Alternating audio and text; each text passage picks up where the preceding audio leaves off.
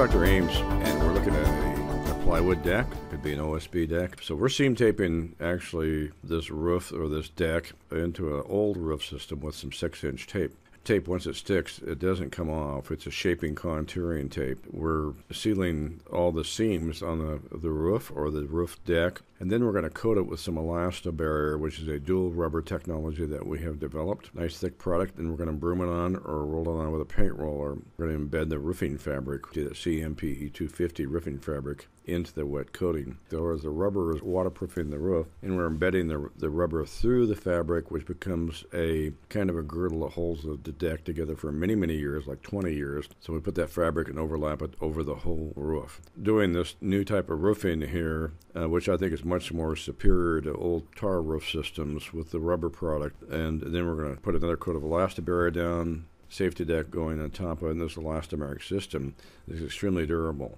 The nice thing about this, we can use safety deck, liquid granite, liquid shingle, or any of our products on top of a roof deck application, depending on how you want to finish the product or finish the application, or the maximum stretch uh, as the roof coating, which you can be tinted any color you want.